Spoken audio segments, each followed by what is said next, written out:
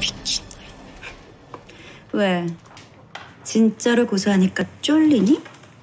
입 다물어. 남의 손가락 다 꺾기 전에. 지금 들으셨죠? 네? 저 플루티스트거든요. 이거 살해 협박 아니에요? 야, 너 지금 당장 무릎 꿇고 사과해 right now, 어? 웬만하면 사과하시는 게 좋아요. 이게 합의 안 되면 기소되실 텐데 이 벌금 전과도 전과거든요. 얘 이미 전과 있어요. 그것도 폭행 전과 두 번이나. 아, 그뿐인 줄 아세요? 얘 몸도 팔아요. 야, 너 그 가다니니 어떻게 손에 넣었는지 내가 지금 여기서 다 까봐?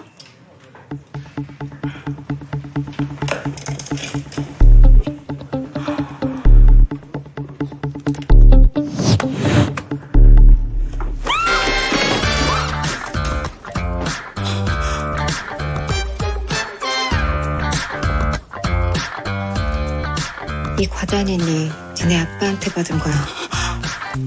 뭐? 불쌍해서 어쩌냐, 니네 엄마. 기소하세요.